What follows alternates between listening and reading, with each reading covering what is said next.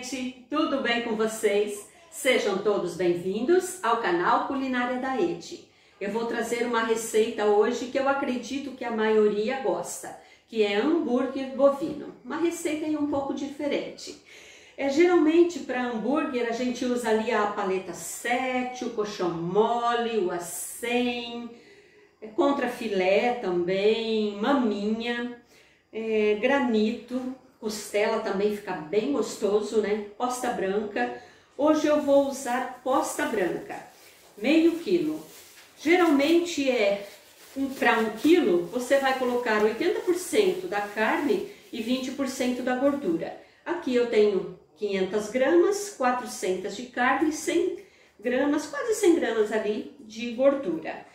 Coloca em um pote essa carne, uma travessa, e nós já vamos temperar. E não se esqueça, já liga o forno ali a 200 graus. Nós vamos temperar essa carne com sal. O sal é a gosto, tá? Aqui a gente vai colocar umas duas pitadas. Também pimenta do reino a gosto. Esses dois ingredientes você aí prepara como você prefere. Gente, muito prático, muito fácil. Já vai misturando aqui o tempero e vamos misturar uma xícara de farinha de milho flocada. Geralmente é flocão. Eu não sei aí na tua cidade, pode ser outra marca, mas é a farinha de milho flocada. Nós vamos misturar bem esses ingredientes. Bem misturado, eu vou pesar aqui para conferir. 631 gramas. Foram 125 gramas da farinha de milho flocada, as 500 gramas da carne e a diferença ali os temperinhos, sal e pimenta. Geralmente os hambúrgueres são modelados entre 100 e 120 gramas, para ficar bem legal. Aqui como deu 630 gramas, eu vou modelar 6 hambúrgueres de 105 gramas. Eu vou pesar, tá? Para ficarem todos iguais. 105. Você pode modelar com esse utensílio aqui que você encontra em lojas de utensílios domésticos ou então com a mão. Eu vou modelar com a mão aqui. Vou amassar, fazer uma bolinha e vou achatar. Gente, é bom pesar porque daí fica todos do mesmo tamanho, né? Aí também vou levar para assar a 200 graus nessa forma de pizza aqui, untada com um pouquinho de óleo ou manteiga ou até desmoldante. Eu vou montar todos e eu já mostro para vocês.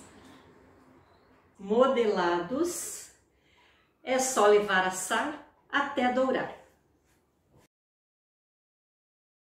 Os hambúrgueres estão assados, deixei 25 minutos no meu forno. Você pode deixar um tempo menor se você gosta mal passado. Também poderá achatar os hambúrgueres um pouquinho mais e assim ele assará mais rápido. A melhor parte vem agora. Eu vou montar um hambúrguer desse eu vou dar uma sugestão para vocês apenas. Porque isso aqui, gente, um jantar assim, num lanche da tarde, fica muito gostoso. Eu vou colocar em cima desse hambúrguer uma fatia de queijo prato. Você pode colocar o queijo mussarela ou o queijo que você prefere aí. Eu vou dobrar aqui ao meio também vou colocar uma fatia de tomate e também orégano. E eu vou levar novamente ao forno para simplesmente derreter esse queijo. E está pronto o nosso lanche ou o nosso jantar. Gente, melhor parte, provar essa delícia. Você pode servir aí acompanhado com uma folhinha de alface, fica bem gostoso também.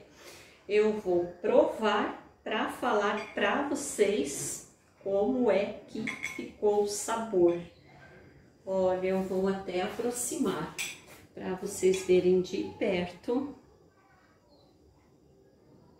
Olha, se você gosta mais mal passado, é só deixar um pouquinho menos no forno.